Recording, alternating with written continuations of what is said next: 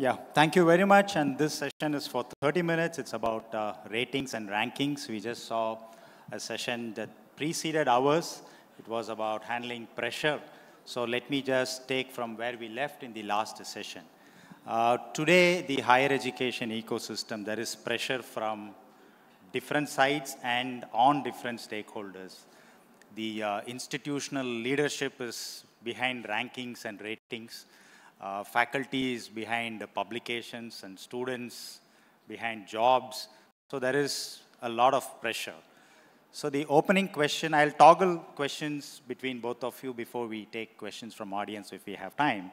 The first question to Professor Rangarajan, you know, you know, both, uh, both of you represent institutions which are top ranked as a university in NIRF, as an engineering institution, IIT Madras. Uh, the first question, Professor Rangarajan, is there is always this confusion between ratings and rankings. Now, if somebody comes and says, you Carl Lewis won the 100 meters, and then contemporary uh, Daley Thompson was a decathlon gold winner. Now, why did he not win the 100 meters or why Carl Lewis did not win the decathlon. So, but ratings and rankings are two different ball games. But there is this confusion that the best ranked institution should also have the best rating or vice versa. A good rated institution must also be a top ranked institution. So how do you, you know, add clarity to this confusion between ratings and rankings? What's your take on that? Uh, I, I don't think, you know, these are different aspects uh, of, of measuring an institution. So I, um, you know, you, um, rankings, I think, are something which probably more people are focused on um, because um, you give some sort of uh, numerical order uh, and uh, you know a highly rated institution, uh, as you rightly pointed out, may not uh, be the number one uh, ranked institution also. Um, I think it's more a matter, I would, I would not really, you know, give much importance to these. I think more important is that, it's the institutions should aim for excellence. And it really doesn't matter uh, whether, uh, you know, you are highly rated or ranked. Um, it's, I somehow feel to, you know, I fail to see what uh, what the whole uh, you know importance about distinguishing such uh, things are. So I would say just whatever it is, you you know just focus on excellence. That is the key point, which is which finally matters. But do both of these work towards excellence? or one is yeah. better than the other? No, no. I think both are, in some sense, um, you know, as I said, different measures. That's all, different way of measuring. so it's safe to assume that there is no point in comparing you know, rankings versus ratings because there is a lot of uh, you know, confusion, a lot of uh, policy chaos, people reporting different, different uh, media groups raking this issue. So I think it's better to you know, begin with that clarity. Thank you very much. And um, now to the ranking part. Now, I have this feeling, uh, you know, the IITs are actually uh, best represented in both the global rankings, whether it's QS or the Times Higher Education. But within the IITs, you know, some of them have chosen Times Higher Education, some of them have chosen to participate in QS. So how do you actually ration the rankings? Now, why is that a group of IITs decided it's only QS, a different group decided it's only Times Higher Education? Why not all participate in both? So I will uh, you, you are a little partial to me. You didn't ask the previous question. Okay. so I agree with uh, Ranga on this. So we are basically going by principles of Bhagavad Gita. We do the karma.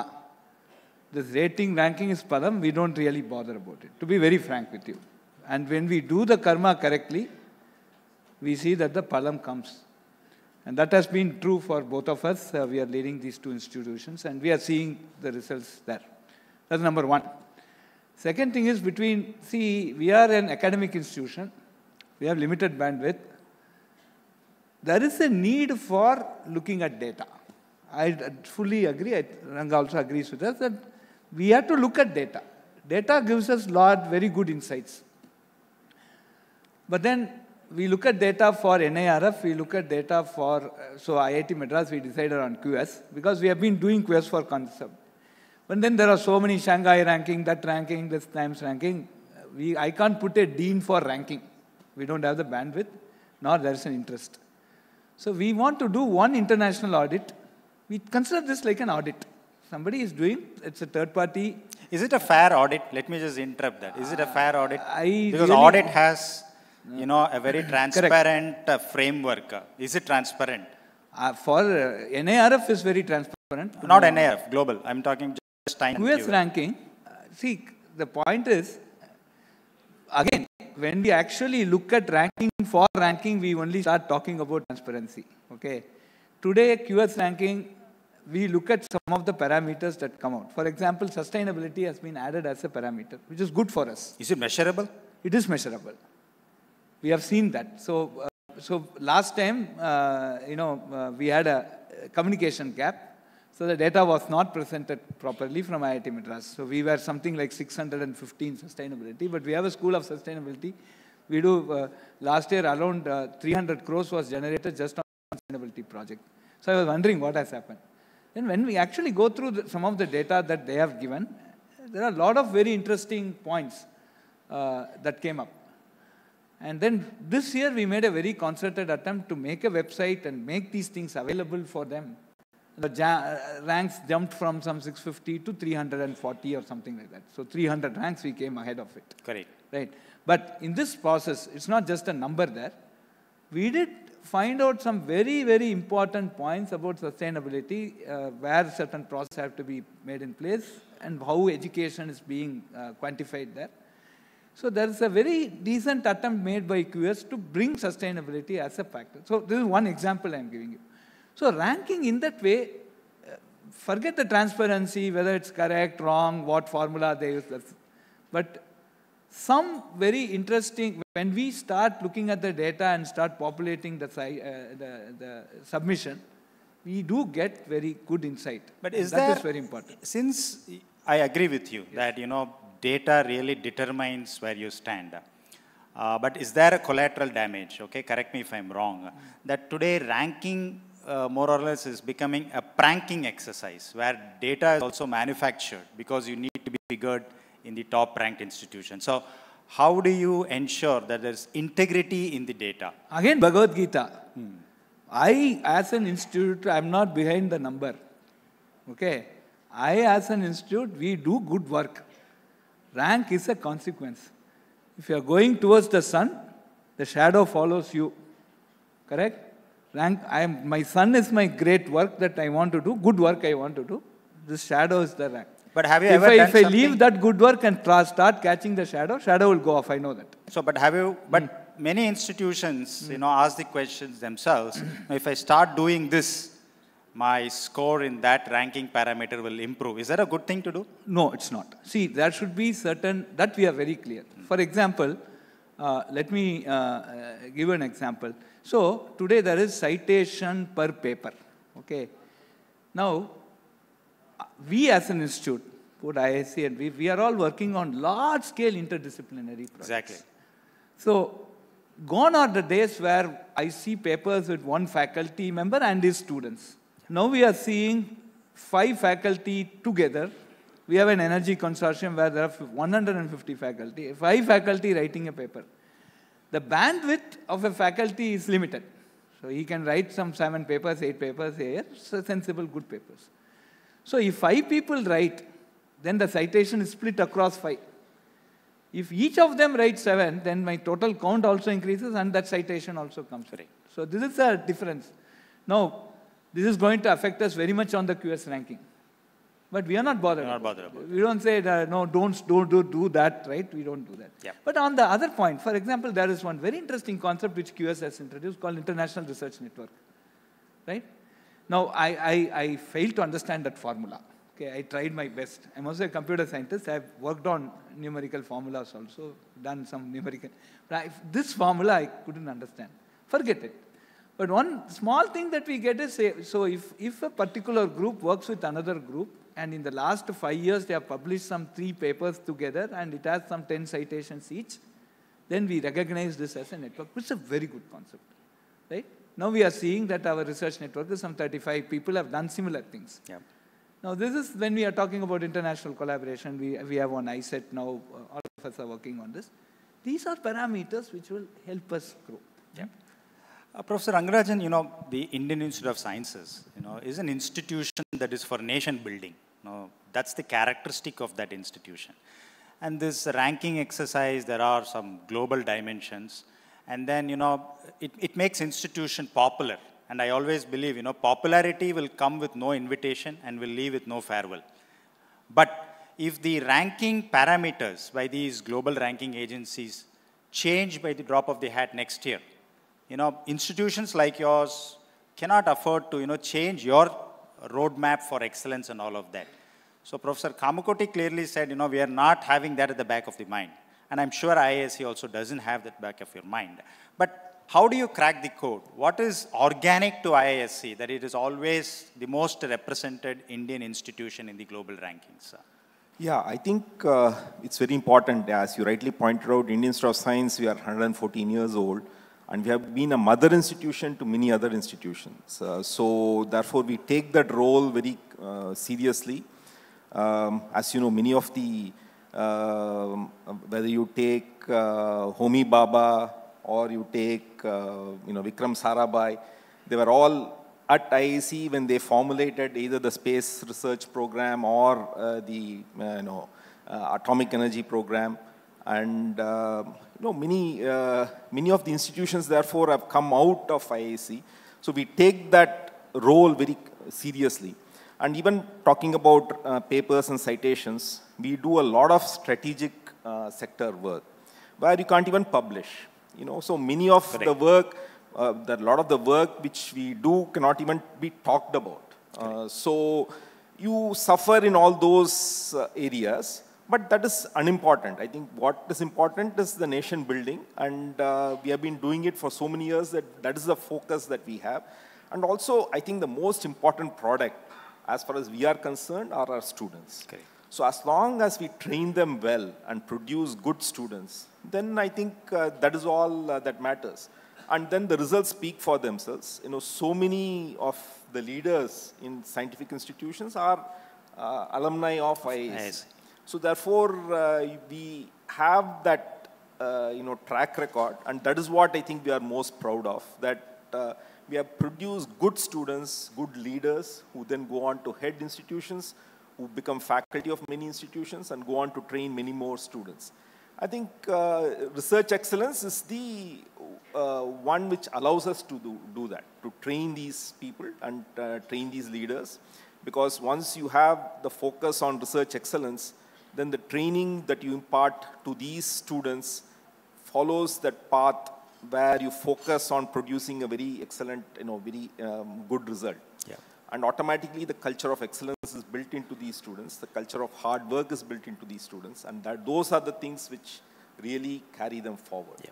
So uh, that is what has been, I think, the, the culture of IISc, and that is not really going to change. Yeah, uh, I mean, that's good news, actually. I mean, that's yeah. how it has to be also. Yeah. Right. Because we very rarely get institutions like IISc, and we cannot afford that to be, you know, uh, a victim of rankings or yeah. ratings. Now, let me bring NIRF into the discussion, because that's also a ranking exercise. You know, uh, the United States of America and Canada play uh, ice hockey match amongst themselves, and they call each the world champion, whoever wins it. But Because ice hockey is suited only to that, uh, you know, climate and all of that. Now, NIRF, likewise, you know, it is, it is actually designed for an Indian system. And uh, you are all at the thick of the policy making there at the NIRF. Now, how can we kind of globalize that? Because today, you know, uh, anything that India does also should have a global impact. And now, what do you think? Maybe I should pick both of your brains on how to globalize NIRF. How long can NIRF be a national ranking exercise? You have times, QS. Can NIRF emerge a global ranking instrument? And what should we do? Yeah, so I think there's really no barrier as such for uh, making NIRF uh, ranking global. After all, if you look at one of the earlier rankings, well, the earliest probably was the US News uh, ranking yeah. for the US institutions. Um, so uh, or the um, uh, now what is called ARWU, the Shanghai rankings, they started out locally as rankings. Even US News was mainly for US institutions. Uh, but once you achieve credibility locally, I think more and more people start to look at those rankings, and then you can reach out to a global scale. Um, because what you need ultimately is, see, there are two approaches. One is what Shanghai rankings take or the ARW ranking takes, where you only look at parameters which you can gather independent of the institution. Okay. Then you have uh, rankings like QS where you also need inputs by the institution. Now, if you're going the former route, there's absolutely no um, barrier, zero barrier for you going globally. All you have to do is whatever parameters you pick, you just uh, pick, uh, evaluate them for all global institutions and publish a global ranking. As long as people find it credible, I think credibility is the key. As long as people find it credible and uh, also matches probably, that's very important. You know, it's a very subtle thing. If the ranking you publish is very uh, opposite to the perception that you have, then I think people it discount is. that ranking.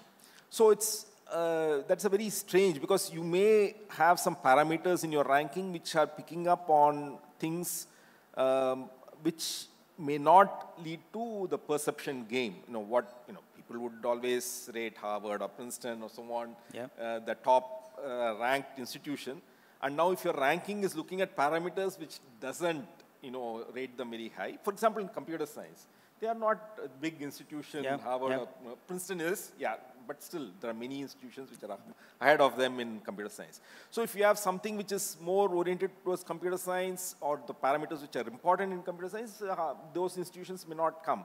So initially there may be skepticism then, oh, what is it? Uh, we know, we perceive these institutions to be the top institutions, why are they not ranked? So that I think this could be one barrier, you know, if you pick, unless you pick the parameters uh, carefully. The uh, some barrier will come when you're expecting institutions to provide data. Hmm. There, I think much more work is required to convince all the research universities to contribute data. That will probably what we should do is start regionally, you know, have all the um, regional institutions in our region take part, then uh, maybe go to Asia and so on, and uh, then expand. As you develop credibility, you expand to the Correct. whole world. So the first step is moving regional and then yeah, unless global. you pick the first approach, yeah. like the Shanghai rankings, you just base it purely on publicly available data. Then there's no barrier. You can okay. just publish. That's okay. Thank you. You have any additional points on how to make it global? One important thing that we must look at is every country has its as her own DNA. Hmm. Right? India has, we have our own, uh, you know, responsibilities. We are the largest democracy. The way we we conduct our institute is different from the way the Western world does it. So we have our own commitments, social commitments, etc. So country-specific parameters have to be given and sufficient weightage have to be given. For example, how do you define diversity in India? So if, if you know, our whole thing is unity in our diversity. Correct. So some people from far northeast come and study in IIT Madras. It's a diverse environment. Correct. Inner come from Germany and come study here. Correct. So these type of things have to be looked at very seriously and, uh, and the way institutes are run here. See, our education is very subsidized, right? If you look at postgraduate education, compare it with other universities, it's very subsidized because the type of population that we need to address, the type of social commitments we have are different, okay? So, so that is something which we need to bring. So if NIRF has to succeed as an international ranking, there must be some country-specific uh, you know, blocks, which will be given some 50% weightage. And that must also be figured in. Okay, right. then, then let me pick your brain on that mm-hmm. because that's a very important point. Because Scandinavian countries are very, very small. Morning jog, if you just, uh, you know, jog a little farther, you will get into the other country also. Yes. Uh, so then that is international actually yes, in yes. the world rankings. Sure. Now India is also, you have say, rightly said, complexities. Now, has NIRF adequately addressed those complexities at the Indian context itself? I feel that, you know, there is still, you will have to do some cross weightage to remove these distortions. Sir. Yeah, so as a system, NIRF, we have been involved with that even at the, you know, formation stage, IIT Madras, uh, IISc, everybody we were involved on that. Uh, as a system, it is evolving, right? So this time uh, there is a sustainability is brought in. There's an innovation brought How in. do you measure innovation? I'm really surprised. Innovation is getting ranked. It's very qualitative. How do you measure it? Innovation can be measured in terms of number of patents that are granted. So it's granted by, yeah, yeah, so there is a, a process that is involved in basically uh, getting it. So number of patents is very important there. Then technology transfers that have happened. And then, uh, you know, the startup companies which have exited and become not necessarily unicorns, but, you know, uh, to a stage two, stage three funding. So these are all some of the data that they are basically collecting this time. And uh, there is a measure that is coming. I'm sure over a period of time this will get evolved and uh, uh, we will come out with whatever is a common denominator there. And as you had seen over the last uh, eight years, uh, uh, the, the, the whole thing has been evolving and we are getting more representations uh, done and implemented also. But the innovation data, Professor Rangarajan can also add, you know, the more and more somebody, uh, you know, is uneducated, there is a lot of ideation happening. I mean, we are missing that. Uh, we assume that the innovation is happening only in institutions. Are we missing the real innovation outside? That doesn't mean that we've got to rank non-education institutions. But do we have an innovation, innovation measurement framework in place? We have announced the ranking, but are we having a good framework to measure the In innovation? some sense, what uh, this innovation actually says is it's looking at the number of incubated startup in an incubator. Right? For example, IIT Madras incubator, we don't just uh, incubate startups from our own students. We also nurture other, other in- university students or other outsiders also to come in. But So, that's, uh, that's, that's okay. I mean, if you have a separate ranking for innovative universities. Now, there are many derivative ranking instruments that's coming. Like even if it's Times or QS, QS says emerging universities, Asian universities, BRIC nation and all of Correct. that. So can this not be a derivative ranking then bring innovation into the mainstream ranking where only few institutions No, no, uh, have that capacity? Innovation is uh, now a separate category. Correct. It's a separate category. So there is a separate separation that is Just done. like research. Just like research it's a separate category, innovation is a separate category, and in the overall also there is a component of innovation that is added into this. So that way innovation has become a separate category. So, so I'm sure within, uh, we see uh, uh, in the overall ranking institutes that are rated even above 150 are within the top 10 in innovation. Correct. That has happened, right? So even last year we have some very interesting examples. And when we go and start looking at those institutions, yes, there is, there is a little, really there is a component there. So as uh, uh, uh, Professor Rangarajan mentioned, the credibility is also getting established now. Correct. There is also a cross verification happening. Like, okay, this institute we did not do, but why it, it came. So this type of a thing, it is evolving. So I think it's a very good exercise as I find out. Professor Rangarajan, you said, you know, IISc is the, the mother institution. Now, what's your plan to take care of the child institutions? How do you mentor institutions on the ranking and ratings? Because today, even policy decisions are linked with ratings and rankings. As a responsible mother, how are you going to mentor other institutions? I, I think, you know, we, I don't think we directly mentor any institution. I think, as I said, it's only our, uh, uh, you know, students who go on and, uh, know, be part of these institutions. So, uh, what the way we can mentor is by setting an example. Uh, so directly, because each institution has its own constraints, has its own resources, uh, the geographical location, all these play a very important role. Um, so there is, I think, that is something the institution has, it, has to figure, figure out on its own. So the best m- mentoring that we can provide as uh, Indian Institute of Science is to set an example where we say that, you see, we have sort of weathered all these storms. You know, we were pre-independence, the independence happened, so many, you know, UGC, all these happened after, you know, we were set up long ago. Correct. So we have gone through all these uh, changes and have still kept the excellence on top.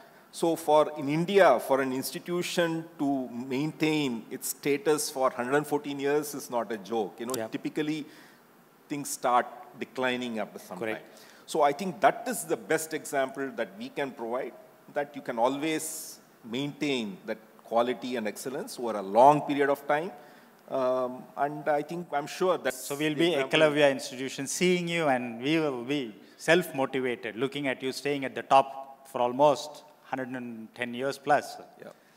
Now, leadership is also very, very important, and that's going to be my last part. You know, you have both the institutions had illustrious predecessors as directors of the institution. Now, what are you going to expect from your successors later? How are they going to handle the pressure now? Now it's becoming cutthroat competition, not at national level, at global level also.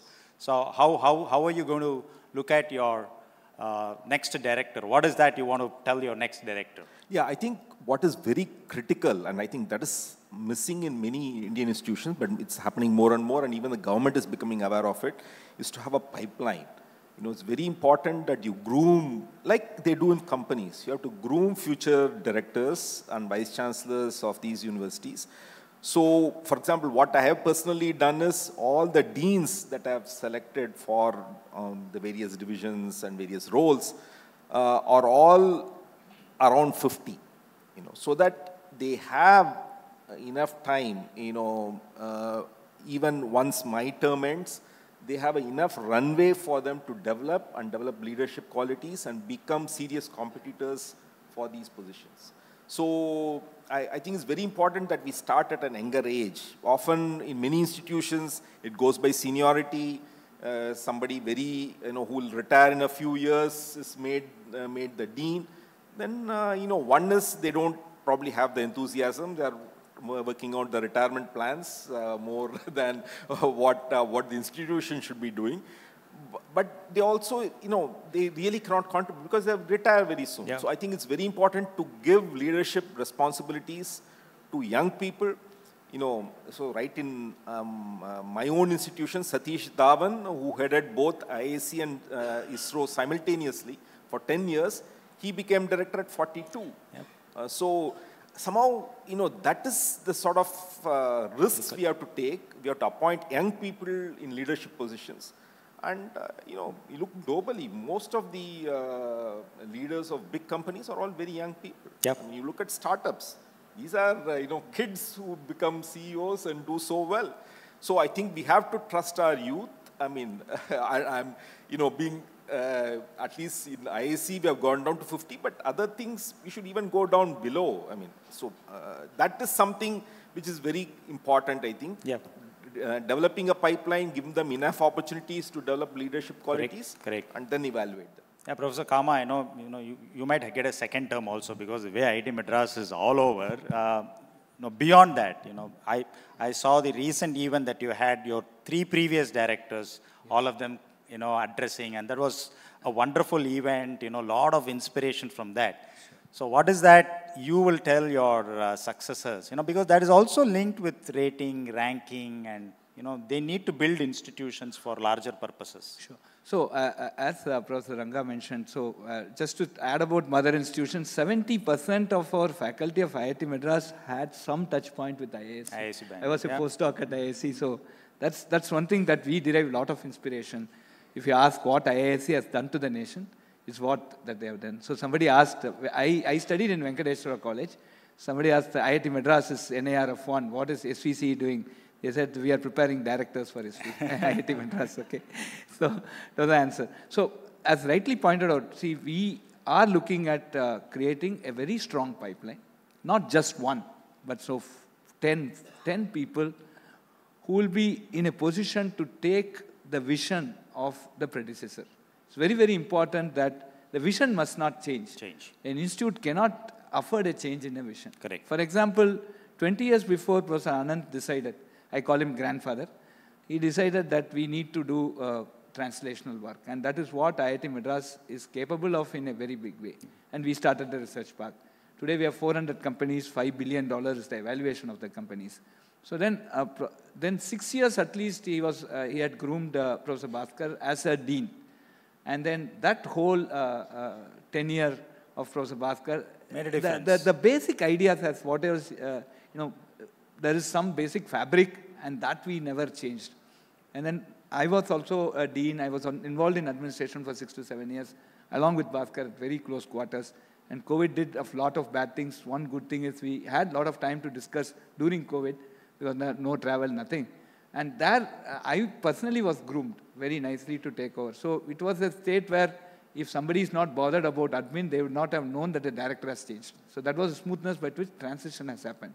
Uh, so that is very, very important for any institute. So what we are also doing is that all our deans, uh, we are grooming the deans, uh, take up administrative positions, be in very important committees today. See, we are now in a very large democracy. There is a lot of, lot of uh, expectations from our institution right? So, so responsibilities. Yeah, responsibilities and expectations, and uh, right from you know uh, school education, say what is you know what is our contribution? STEM. Uh, all of us are doing a lot of work on STEM, right? So these things have to be you know basically uh, you know be part and parcel of the dean's work. So that is also coming very much, and uh, we are also very much focusing on getting more women involved in leadership. So women leading IIT uh, we know, uh, our Zanzibar campus, mm. uh, Preeti has taken over. Yeah. Uh, she's IIT Bombay alumnus yep. and uh, uh, she did PhD abroad and she joined our faculty. So she's taken up. So we are also try, trying more and more women into coming into the leadership position. That's so good. these that's, are some of the important things. we have just time for two quick questions from the audience. the student. Good morning, gentlemen. So we have seen that IITs have been accessible only for particular students who clear, clear JEE before four or five years. But recently we have, uh, we have a direct connection with the IITs through BS Data Science program or through other incubation projects. Sir. So is there any link with the ratings for the uh, reason, uh, the, is there any reason for that? Are you incentivizing, does ranking and ratings incentivize your no, online no, programs? No, so we are doing, is, uh, so what uh, today United Nations calls as SDG 4, Sustainable Development Goal 4 every institution has to be adhering to some of the sustainable development goals. And youngsters, if you don't know what are the sustainable development goals, please go and read it from the UN website. So SDG 4 is talking about affordable, equitable, accessible education for all and equal opportunities. And this entire uh, BS data science program has been conceived essentially based on that uh, idea. So we are not, it's not linked to any ranking or uh, actually I don't know, it may have even negative impact on the ranking because we have more students and our faculty to student ratio. I have 25,000 students today, ladies and gentlemen, uh, uh enrolled in the BS Data Science program. And we have 5,000... But you will have international students also, no? You will gain there. I don't know. So 5,000 students are below poverty line and we are supporting them through scholarship. So this is what we have made as an outreach. So that's a uh, very quick answer to your uh, question. The gentleman there? Can I ask a question? Yeah. This is to you, Professor Rangarajan. Uh, you are talking about, both of you said about grooming, about, uh, you know, uh, in leadership position, etc. IISc, for example, doesn't really um, employ teachers who are pass outs of the institute, say uh, PhD scholars, etc. Why is that so? That is something I've always wondered. You mean yeah, inbreeding? See, it's not, it's, I wouldn't say it's a very hard and fast rule, but I think most institutions typically would, you know, we want our students to go elsewhere, you know, because uh, that is part, I think, of the responsibility of all institutions. So to encourage that, we have such rules. And also, you want more fresh ideas to come in. So if you have uh, a professor and that professor student uh, then again joins the group, it's the same set of ideas, the basic set of ideas don't change. So to promote more innovative ideas, fresh ideas to come in, it's always better that somebody from outside uh, comes to IISc uh, rather than somebody who's already a graduate. That is, it's, if somebody has done, um, you know, master's or undergraduate degree, it's fine, but it's only at the PhD level we, uh, you know, we have, uh, because it's basically for that reason, yeah. The last question, yep. Yes. I have two questions for you. One is generic, another one is controversy. So which one you choose? No, want to choose? Uh, yeah. Make it short. Make it, yeah. Hmm. Why is that IIT is being seen as a gateway to the West? People who get graduated from IIT choose to work for the other countries. Answer. You said last, DNA is different. Correct. Answer to your question. Last five years, the number of people who have gone abroad is 5%. Next. Just Next. not come out and open. The next is, how do you counter the controversy of giving priorities to the lecturers belong to different sect in the society? We have a, now the national, uh, the central education Uh, repeat your question. I didn't get it for. The representation of faculties has to be from the different sect in the society. Ah. Inclusive so they recruitment. Say, yeah, inclusive recruitment. Inclusivity. Yeah, in now we have, uh, uh, so the Central Education, uh, uh, Central Education Institution Act, the CA Act, has now uh, uh, mandated certain uh, reservation at every level, and we follow what we call as the roster, right? Roster, uh, it's a central government uh, designed thing, which uh, basically ensures that every community is given that many uh, uh, things. So I'm also very happy to tell you the last two years, 2019, it has been uh, implemented. So in the last four years of our agreement, we don't have a single backlog in the faculty and staff recruitment. Thank you very much, ladies and gentlemen. Big round of applause. As always, wonderful to talking to both of you. Thank you very much.